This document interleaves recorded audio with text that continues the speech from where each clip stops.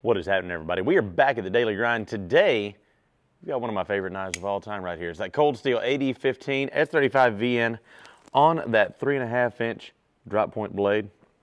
6061 T6 aluminum on that lock bar, and then 3D G10 on the handles. Nice and grippy, fits really good in the hand. Like I said, S35VN on that really thick blade steel.